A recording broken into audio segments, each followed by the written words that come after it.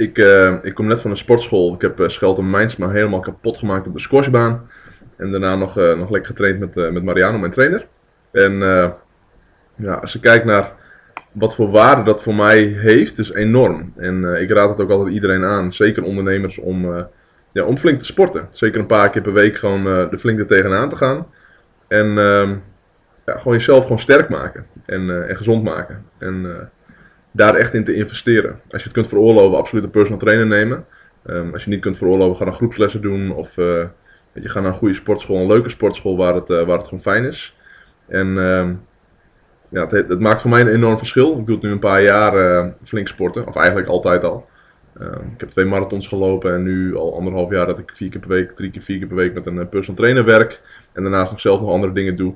En het houdt je scherp. Het houdt je echt scherp om, uh, om, uh, om betere beslissingen te maken en uh, goede inzichten te hebben.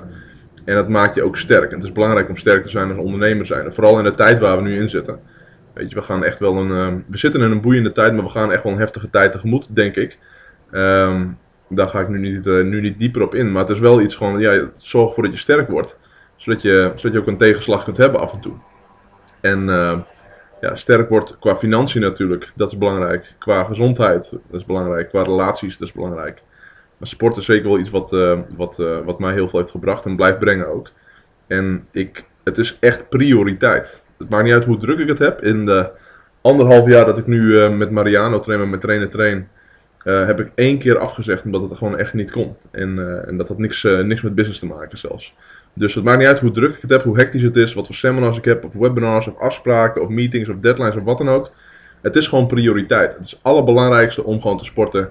En, uh, en uh, dat is voor mij echt absoluut prioriteit. En als je het niet prioriteit maakt, dan, uh, ja, dan gaat je tijdje inhalen voor jezelf. En voor je het weet ben je weer een maand niet geweest bijvoorbeeld. En dat heeft tijd nodig. Als je niet sport, dan nog niet sport, dan, dan echt de eerste maand is drama laat ik zeggen, de eerste twee weken is het drama. Dan denk je echt van, jee, maar wat een takkenzooi dit zeg. En uh, ik kijk er echt tegenop en het is niet leuk en blablabla. Allemaal, het is verschrikkelijk en het kan ook echt verschrikkelijk zijn.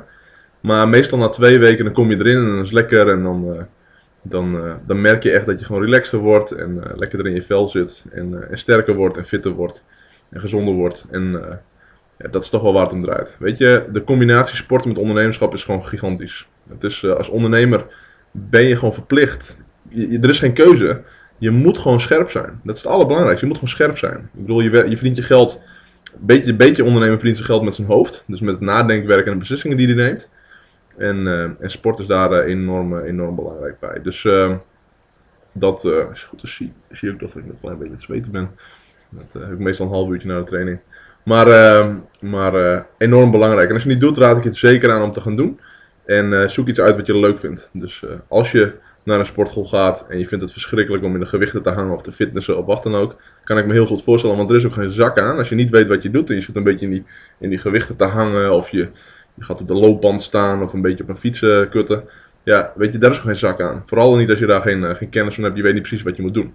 Mijn advies is absoluut om dan bijvoorbeeld groepslessen te gaan nemen. Dus gewoon, weet ik wel, ga dansen of ga zumba doen of weet ik wel, yoga of iets anders. En uh, goed voor je sociale netwerk. En ook nog een keer hartstikke leuk, weet je. Dus, en je doet dingen die je anders nooit zou doen. Dus kijk naar mijn trainer. Ik doe uh, twee dingen. Ik doe dingen die ik nooit zelf zou bedenken. Dus nooit zelf zou doen. En ik ga verder dan ik zelf zou gaan. En dat is wel, uh, dat is wel waardevol als je met meerdere mensen werkt. Omgeving is sterker dan wilskracht natuurlijk. Succes!